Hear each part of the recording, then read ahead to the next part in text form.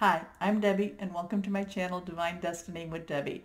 Today we're reading for April 3rd and 4th, Wednesday and Thursday for my Leos. Hello my Leos, how are you? Hope all is well and things are going well for you. Okay, short reading, so I'm just using my Doreen Virtue Angel Tarot cards. I have prayed, meditated, and infused with Reiki energy, and this is a general reading. It may or may not resonate with you. Take what you like, leave the rest. So I had I, I had an epiphany of sorts, or with an idea that I really liked.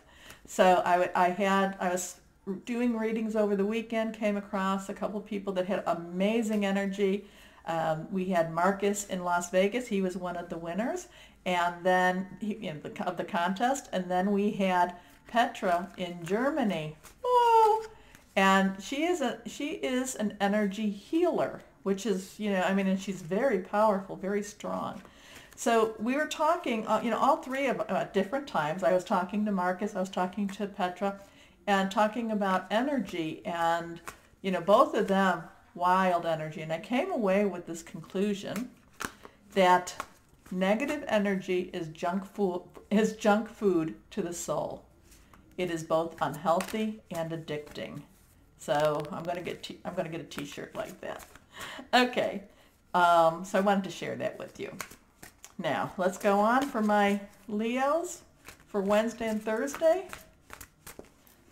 And let's see what we have here. Okay. Three cards, all face down. Nothing is reversed.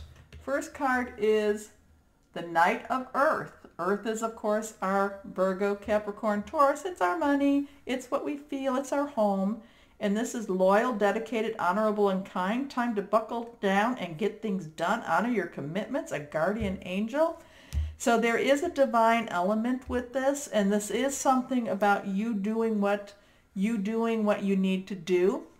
This is also about Okay, you know, a lot of times, you know, when you see this card, it's about you actually doing, you know, it, it's an interesting card. I mean, it's I'm getting an interesting feel with this right now. It's like doing what you know you need to do. Okay, it's it's if you know what you need to do and you just need to do it. Okay, so I'm just going to go there. Let's go see what our next card says. And our next card is the Five of Air, and air is our Gemini, our Libra, our Aquarius. It's our Wi-Fi. It's the thoughts that come into our heads, okay? Head. An unwise choice, learn what you can from the situation, review everyone's motives. So we're kind of in a, this, we're kind of in a um, stalemate. I'm hearing stalemate. It's kind of like, um, you know, that you, you, you need, you know what you need to do um, is that what's unwise or is it not doing what you need to do? Is that the unwise choice? It's your thoughts. You're, you know, you're, un, you're in conflict. You're, you're thinking, do I, don't I, what do I do type of thing.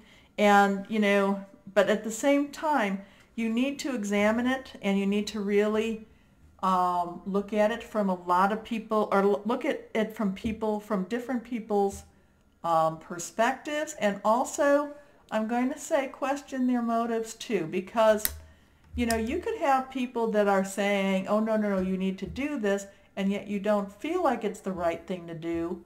And you know and you have to kind of say huh I wonder why that person thinks I should do this. Is it because they know but something that I don't know? Or is it that they you know what is it? What is it but when we go into this about doing what I'm feeling about this card, about doing what, you know, doing what you know to be right, there is a divine element to this. Whereas with this card about the unwise choice, there is more of a mental, um, a, you know, not a mental, it's more of a thought process element. So let's see what this last card says. Because, you know, let's see. Okay, this last card is the eight of water. So water is very fluid, water is very emotional, and that's our Cancer, Pisces, Scorpio energy, but it's a desire to move on, the search for something more meaningful, spiritual and emotional growth. So here you have this thing. You know that you're supposed to be doing, you know, you know, and this is the energies that I'm talking about. You know you need to be moving on. You know you need to be doing this thing. You know you need to get this done. You need to do what you need to do. There's this divine element to it. You're you're you're doubting though. Do I do it? Don't I do it? Should I do it? You know, you're doing these pros and cons. You're making your list, pros, cons.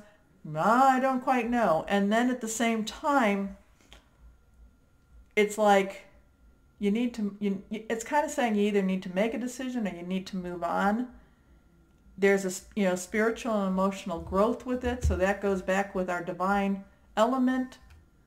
It's a confusing, it's a conflicting type of energy for you this Wednesday and Thursday. You know, I'm a Leo also, so but it, there is a conflict there and it's an interesting element. Yeah, an interesting energy, I should say. Okay? Um, we'll all know more come Friday. So, my Leos, as always, know that you are loved and be blessed. Bye-bye.